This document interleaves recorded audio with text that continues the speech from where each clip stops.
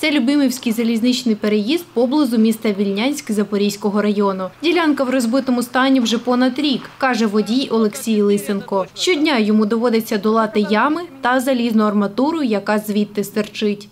Я живу, значит, здесь недалеко, но каждый день езжу в Вольнянск этой дорогой.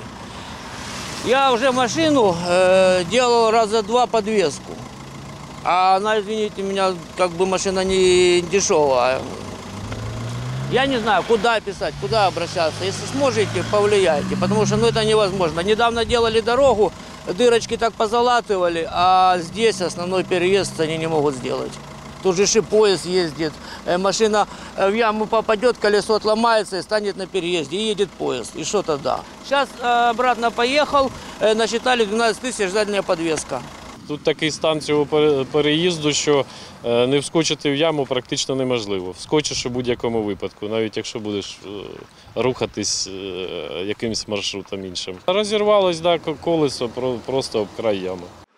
Окрім приватного транспорту, щодня цією дорогою їздять рейсові маршрутки, автівки швидкої та рятувальників. На цій ділянці і зупинка приміського поїзду, каже водій Володимир. Тут яку плитку положили, плитку можна і поміняти, і этот. Вони кожен год сюди гроші вкидають, але нічого не роблять. Понімаєте? Ну от чому. Проблема велика, я кажу, ну ніхто її не рішає. А якщо рішають, то так, на півгода закривають, ну нічого результату ж немає. Колесо пробивали, тут же вони- і арматура торчить все. Було і не один я, багато хто жалувався на це.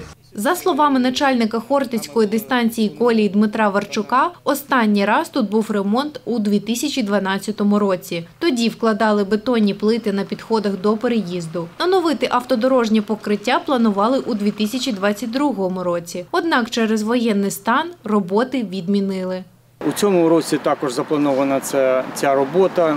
Е, Є в наявності вже е, робочий, виконаний робочий проєкт. Встановленим порядком на залізниці буде проведено тендер з визначенням е, тієї підрядної організації, яка буде виконувати е, цю роботу.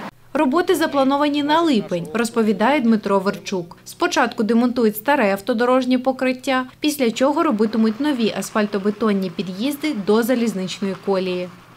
Маргарита Галіч, Єлизавета Баздарєва, Андрій Варіонов, Владислав Каящук. Суспільне. Новини Запоріжжя.